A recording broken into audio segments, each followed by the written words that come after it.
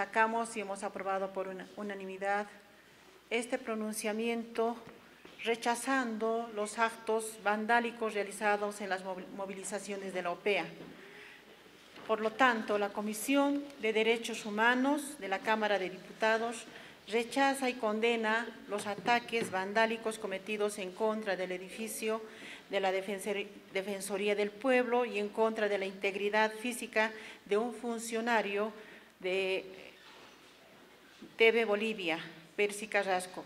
quien sufrió patadas en el brazo, así como tuvo que soportar los golpes de un palo de madera y los bruscos jalones que realizaban los estudiantes de la OPEA. En estas últimas movilizaciones se ha visto cómo los, los univers- universitarios movilizados vienen utilizando bombas mo- molotov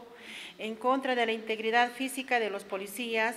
bombas que no solo pueden dañar la integridad física, sino también atentan contra la vida. Esas mismas bombas Molotov fueron utilizadas el día de ayer en puertas del edificio de la Defensoría del Pueblo. Si bien los universitarios de la UPEA tienen el derecho de exigir sus peticiones, pero no cuentan con ese derecho de atentar contra la vida e integridad física de las personas, ni tampoco cuentan con el derecho de atentar contra los bienes públicos y privados. Estos actos ya no se consideran pro- protestas, sino se vienen convirtiendo en actos vandálicos y delictivos.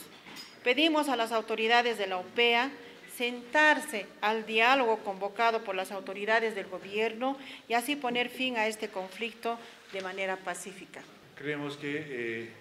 la- los intereses de la Universidad del Alto ya han sido colmados, ya han sido, eh, en este caso, eh, cubiertas con el 70, 70 millones más de, que se está dando, que está dando el Estado. El problema está que hay una intransigencia de parte de algunas autoridades de la UPA y creemos que debíamos de hacer esfuerzos nosotros como parlamentarios, así también como desde el punto de vista de ellos como dirigentes estudiantiles, para evitar mayores eh, conflictos. Llamamos a la reflexión al señor instigador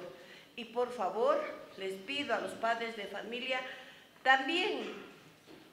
estén tras de sus jóvenes eh, hijos, porque en estos actos de vandalismo los inocentes son los que pagan.